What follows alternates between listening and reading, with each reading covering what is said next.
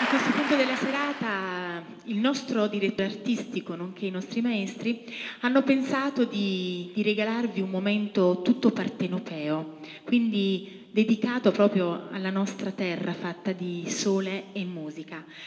Con Vincenzo Zoppi al pianoforte e Vincenzo Carbone al sassofono, per voi, o solo mio.